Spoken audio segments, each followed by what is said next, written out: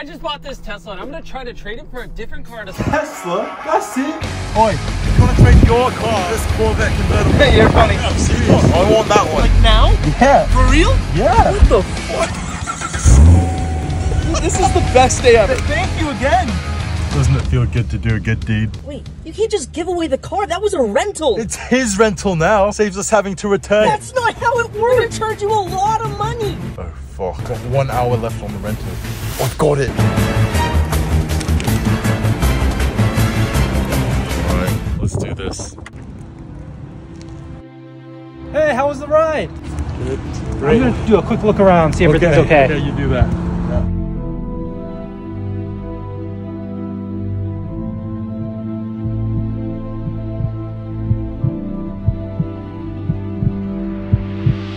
You're good to go.